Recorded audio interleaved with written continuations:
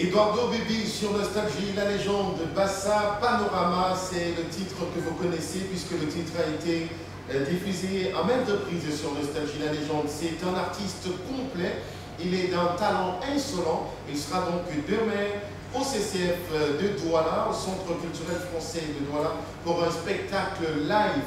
Alors le Cameroun compte plus de 200, euh, j'ai envie de dire, c'est le Cameroun compte plus de 200 ethnies, donc le Cameroun compte plus de 200 rythmes codifiés.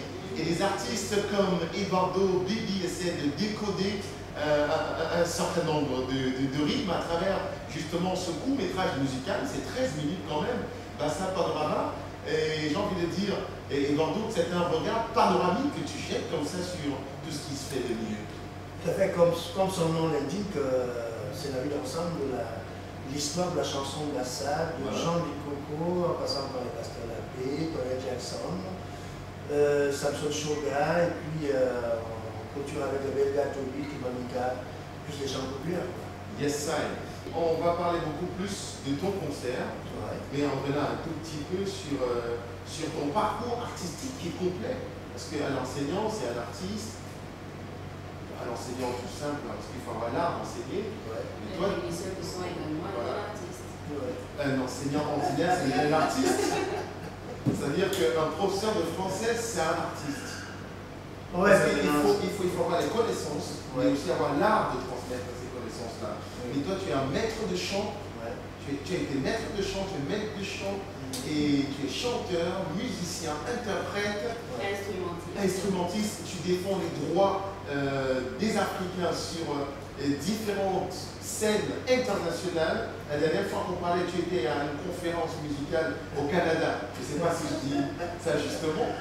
Non, mais disons que euh, c'est vrai, mais bon, tout ça, ça a été pensé. C'est-à-dire que euh, la musique, c'est un vaste domaine. Donc, euh, moi, j'ai fait mes choix. Je me suis dit, bon, pour aller loin, il faut apprendre à lire, à écrire, et puis à transmettre.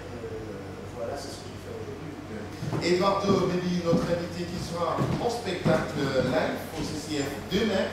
Spectacle, spectacle live, c'est-à-dire qu'il y aura beaucoup de musiciens, il y aura beaucoup de monde, et puis il y aura beaucoup de guitares, euh, et voilà, moins de DJ.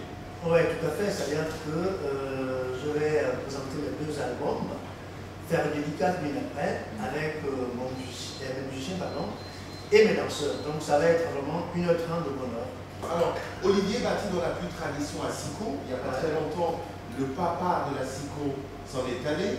Ouais. Mais le Cameroun n'a pas connu une aussi grande euh, détresse. C'est quand même curieux, Eduardo.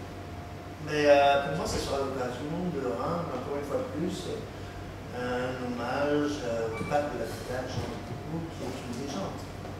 C'est un monstre sacré de la Sico quand on parle à Sico, on parle Jean Coco. Quand on dit Jean du Coco, c'est Sico. Et moi, j'ai envie de dire que la Sico n'est pas mort, hein, parce que, euh, voilà, euh, il nous a bercé, il continuera à nous bercer.